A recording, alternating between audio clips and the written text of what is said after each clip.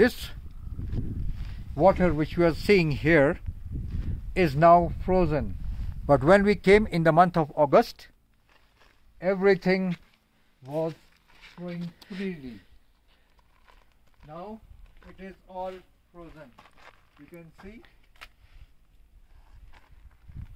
So this is frozen water and we are in the month of September. August it was all. So this is quite interesting. बस बंद कर दे हो गया